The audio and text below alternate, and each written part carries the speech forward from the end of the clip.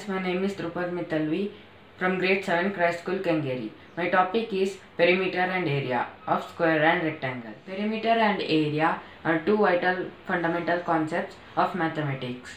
Both concepts are used in our daily life. Perimeter refers to the total length of the boundaries of a figure. It is one dimensional, it is measured in the units. Area is the measurement of space inside the figure. It is two dimensional and its measurement is square units. Now let us see the perimeter and the area of the square. Since all sides of the square are equal, perimeter of the square is sum of all sides of the square, which is 4s units. Area of the square is side into side square units. Now perimeter and area of a rectangle. Since opposite side of rectangle are equal, perimeter of rectangle is twice the sum of length and breadth and area of the rectangle is length into breadth square unit. Now let's see how these concepts are used in our daily life.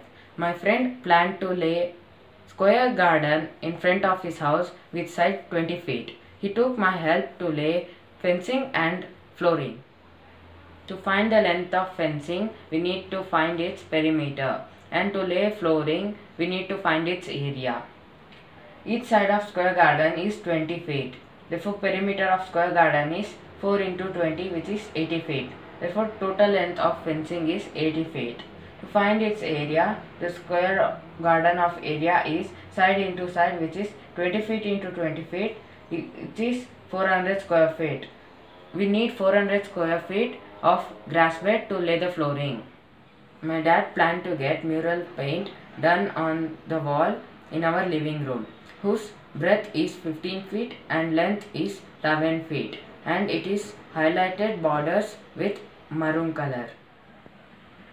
To know the border length we need to find its perimeter and to know the painting space we need to find its area.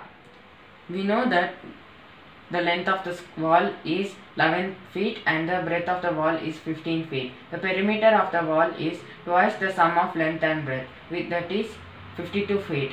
The area of the wall is length into breadth, which is 11 feet into 15 feet, that is 165 square feet.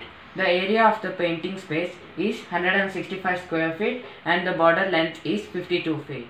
Thank you.